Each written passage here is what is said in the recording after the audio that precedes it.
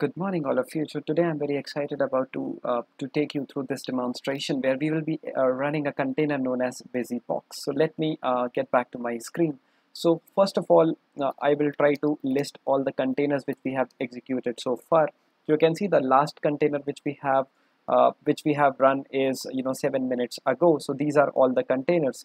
Uh, so you can see the status of this particular container. So you can see that there is no container which is running as of now. If I try to run docker ps you can see there are no containers which are running as of now. So if I try to clear my screen and if I try to list all the images which are stored locally on my system you can see these are the images. So this particular demonstration talks about busybox as a container. So that particular image is not yet there.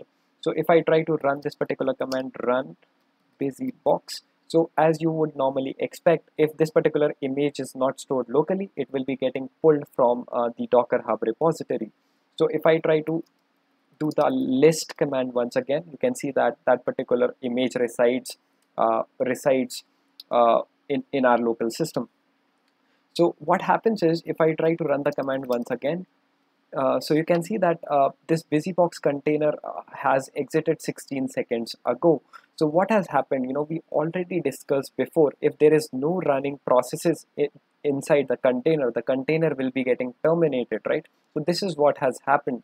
So if I try to clear my screen and if I try to run this particular container once again it busybox. So in this particular case the image is already stored locally. So it will not be getting pulled from the docker hub repository. So if i try to uh, uh, enter you know you can see that i have assumed the shell of our container which is nothing but busy box. So if i try to put ls you can see these are the directories which are inside our container.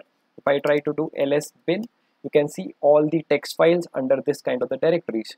So if i try to navigate to my console once again and if i try to clear screen if i try to uh, eh, uh, so i have switched to my console and I'm trying to list what are the containers which are running as of now.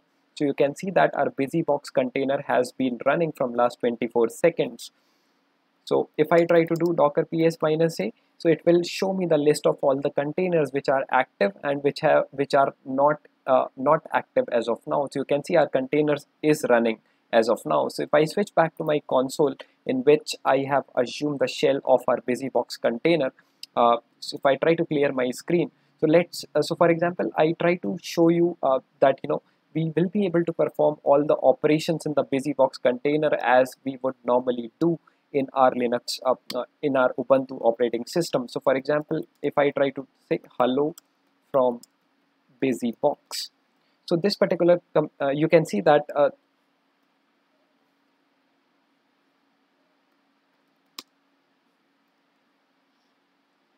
hello from uh, busy box. So you can see that this particular command executed as it would normally do. So for example I can also execute this particular command because we have also seen the text this particular text file is existing under our bin directory. So you should be able to execute most of the commands which would you normally operate in your Linux container. But the the thing which I because if if I go you can see that these are the uh, text files which are existing under our uh, bin directory right? So if I try to exit uh, exit from this particular container and if I try to clear my screen uh, so so for example uh, uh, I would like to show again docker ps so just to make sure that we are, not running that particular co container we have exited from that particular container.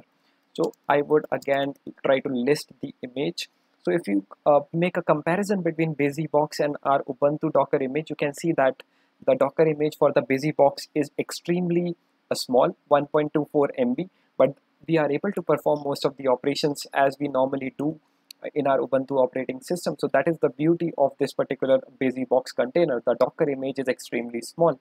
That is what we intend uh, wanted to cover in this demonstration. Thank you.